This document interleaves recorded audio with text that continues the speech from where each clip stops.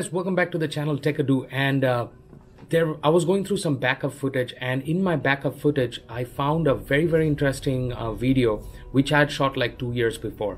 You might be wondering what's with the hat. The hat is because I've got two very very bright lights and it becomes really problem for me to look into the camera with the lights on but I have invested on these lights finally and I was like okay I have to do something when I'm sitting at home uh, and everything was on a shutdown and I wanted to give a little bit of effect uh, while we are doing some today the video is all about a 1018 millimeter Canon lens. Um, EFS aperture is um, uh, very very bad. People might uh, you know like not like the aperture because the aperture is not that wide open. Um, the thing is that I shot this three minutes and you're going to notice this very carefully. I'm going to present my thoughts right now. You're going to watch the video. You're going to write in comment section what you think about the quality of the lens. And in 2020, is it worth it or not? In my opinion, yes, yes, yes, it is worth that price that you're paying for $279. Now, why is it so? Because the next step up from that price is going to be a Tokina 1118. But the problem with Tokina is that Tokina is not sharp along the edges. The Tokina lens is going to suffer a little bit of chromatic aberrations on the side today's video if you're thinking uh, what is it shot by? If i have my blackmagic pockets blackmagic pocket cinema 6k out here it is getting shot by a dji osmo pocket. The audio is from directly from dji osmo pocket. Uh, back coming back to the lens again um, it's a very very fast lens. Uh, the motors are super silent. I did not shoot with a manual focus. It was shot with autofocus and aperture was set to 5 with my ISO on my old Canon 8D, it, my ISO was uh, 3200. But uh, amazing performance by Canon uh, in that sort of ISO. I did not notice any grain. Uh, yes, there was a little bit of color correction that I had to do, but a very tiny little bit. Few of the fill-in shots um, for this three-minute project is taken from uh, you know like variety of royalty free kind of uh, you know videos and uh, the main shot is shot handheld uh, and i think you know like handheld if you masterize the handheld you know putting on gimbals is not a big deal.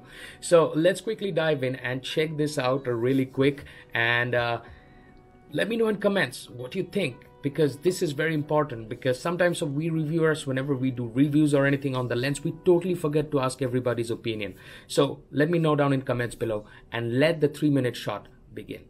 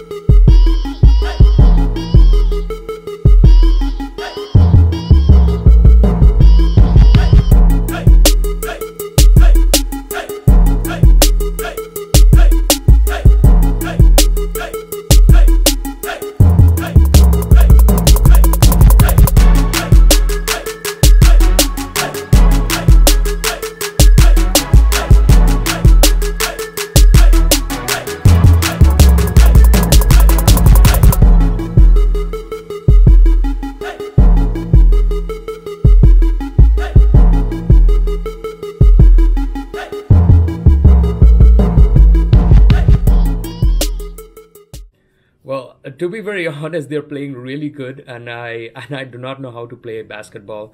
Uh, to be very honest, I'm from a separate part of the world. I know it's a crime. I should know how to play a little bit of it, uh, but they are actually playing really good. Uh, why am I stopping this video anyways? Let's, let's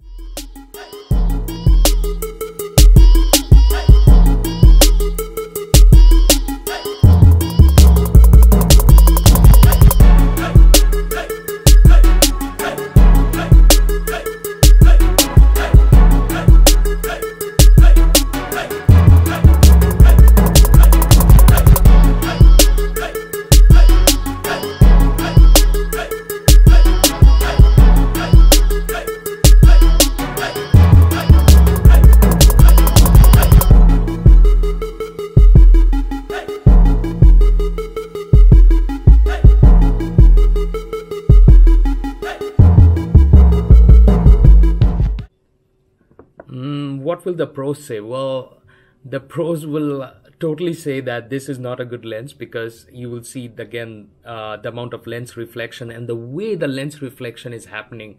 Um, that's the reason it does not become very useful for any sort of professional work uh, to be very honest like if you're doing wedding or small filmmaking or anything uh, but apart from that i am pretty sure that this is pretty much holding up right now so let's go back to the video again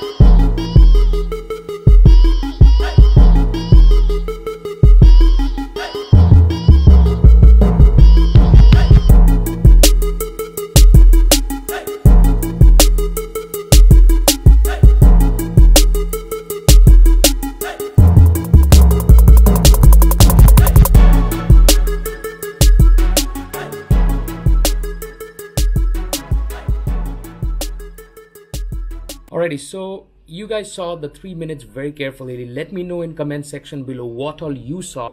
Before you press the subscribe button, let me share you one thing that this is not a niche channel. So if you like this presentation again, give a big thumbs up, like and subscribe and see you guys on another episode uh, where we are going to talk about the newest launch from Autel Evo and uh, when we met them at uh, um, CES 2020. We did an interview, you already saw that, but the product has launched. What did they finally launch and what is the price? So stay tuned.